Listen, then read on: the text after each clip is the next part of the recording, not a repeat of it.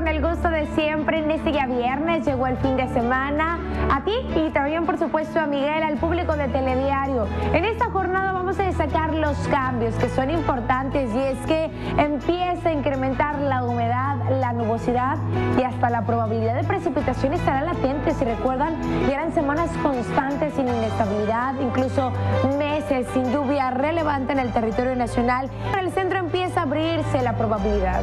Esperamos el cielo medio nublado a mayormente nublado y hasta actividad eléctrica. Estamos destacando que esta actividad eléctrica, bueno, no es eh, típica en esta época del año, en este mes de enero, sin embargo, esto es lo que se estima y hay que tomarlo en cuenta. En esta mañana bien abrigados, tiempo frío, valores bajos, por la tarde 23, mayormente nublado con lluvia ocasional. La probabilidad de precipitación hasta un 50%. Seguimos con esta lluvia durante la noche, esperando un valor de 12 grados, el cielo medio nublado en los chubascos ocasionales, la probabilidad de precipitación entre un 40 a 50%.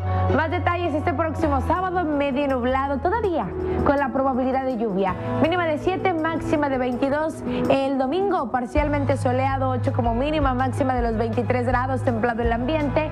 Y el lunes también con la probabilidad de lluvia, lluvia ocasional, mínima de 8, máxima de 21 grados. Las condiciones, las temperaturas son variables. Hay que monitorear el reporte meteorológico constantemente y bueno, prepararnos ante este panorama hoy o bien a lo largo del fin de semana no está de más pues estar cargando ese paraguas. Lo vamos a necesitar. Y también en el Estado de México, eh, hacia Atizapán, Tlanepantla, Naucalpan, Ecatepec, Texcoco, Nese y Chalco. Cielo mayormente nublado. La actividad eléctrica también no se descarta. Recuérdelo al finalizar la tarde o bien por la noche.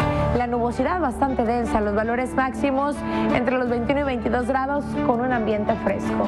Hasta aquí el reporte del pronóstico del tiempo. Nosotros continuamos con más del otro lado del estudio. Muchísimas gracias.